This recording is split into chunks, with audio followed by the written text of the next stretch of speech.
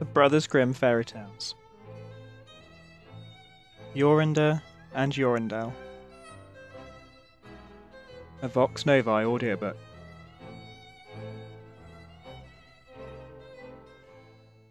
There once was an old castle that stood in the middle of a deep, gloomy wood, and in the castle lived an old fairy.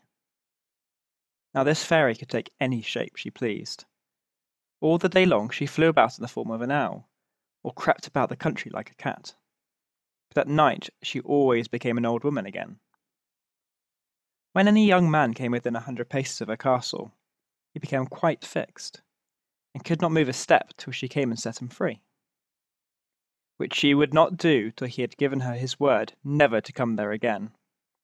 But when any pretty maiden came within that space, she was changed into a bird, and the fairy put her into a cage, and hung her up in a chamber in the castle. There were seven hundred of these cages hanging in the castle, and all with beautiful birds in them. Now there once was a maiden whose name was Jorinda. She was prettier than all the pretty girls that I had ever seen before, and a shepherd lad, whose name was Jorindel, was very fond of her, and they were soon to be married. One day they went to walk in the wood, that they might be alone. And Jorindel said, We must take care that we don't go too near to the fairy's castle. It was a beautiful evening. The last rays of the setting sun shone bright through the long stems of the trees upon the green underwood beneath, and the turtle doves sang from the tall birches. Jorinda sat down to gaze upon the sun. Jorindel sat by her side, and both felt sad. They knew not why. It seemed as if they were to be parted from one another forever. They had wandered a long way, and when they looked to see which way they should go home, they found themselves at a loss to know what path to take. The sun was setting fast, and already half of its circle had sunk behind the hill. Jorindel on a sudden looked behind him and saw through the bushes that they had, without knowing it, sat down close under the old walls of the castle. Then he shrank for fear, turned pale, and trembled. Jorinda was just singing. When her song stopped suddenly, Jorindel turned to see the reason, and beheld his Jorinda changing into a nightingale, so that her song ended with a mournful bird song. An owl with fiery eyes flew three times round them, and three times screamed, Choo-woo! Choo-woo! Choo-woo! Jorindel could not move. He stood fixed as a stone, and could neither weep, nor speak, nor stir hand or foot. And now the sun went quite down. The gloomy night came. The owl flew into a bush, and a moment after the old fairy came forth, pale and meagre, with staring eyes, and a nose and chin that almost met one another.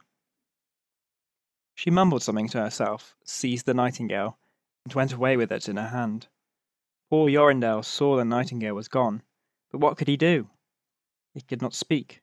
He could not move from the spot where he had stood. At last the fairy came back and sang with a hoarse voice. Till the prisoner is fast and her doom is cast, there stay, oh stay, when the charm is around her and the spell has bound her, hie away, away. On a sudden Jorindel found himself free. Then he fell on his knees before the fairy and prayed her to give him back his dear Jorinda. But she laughed at him and said he should never see her again, then went her way. He prayed, he wept, he sorrowed, but all in vain. Alas, he said, what will become of me? He could not go back to his home, so he went to a strange village and employed himself in keeping sheep. Many a time did he walk round and round as near to the hated castle as he dared go, but all in vain. He heard or saw nothing of Jorinda. At last he dreamt one night that he found a beautiful purple flower, and that in the middle of it lay a costly pearl. And he dreamt that he plucked the flower, and went with it in his hand into the castle, and that everything he touched with it was disenchanted, and that there he found his Jorinda again. In the morning, when he awoke, he began to search over hill and dale for this pretty flower, and eight long days he sought for it in vain. But on the ninth day, early in the morning, he found the beautiful purple flower, and in the middle of it was a large dewdrop as big as a costly pearl. Then he plucked the flower and set out and travelled day and night till he came again to the castle. He walked nearer than a hundred paces to it, and yet he did not become fixed as before, but found that he could go quite close up to the door. Jorindel was very glad indeed to see this.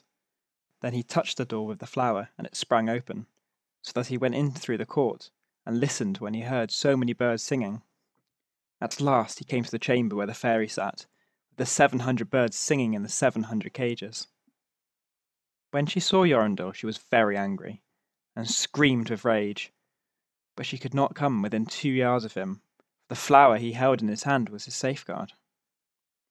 He looked around at the birds, but alas, there was many, many nightingales, and how then should he find out which was his Jorinda?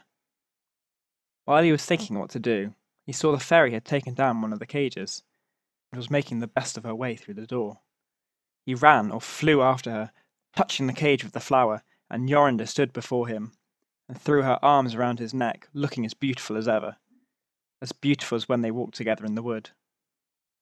Then he touched all the other birds with the flower, so they all took their old forms again, and he took Jorinda home, where they were married, and lived happily together many years. And so did the good many other lads whose maidens had been forced to sing in the old fairies' cages by themselves, much longer than they liked.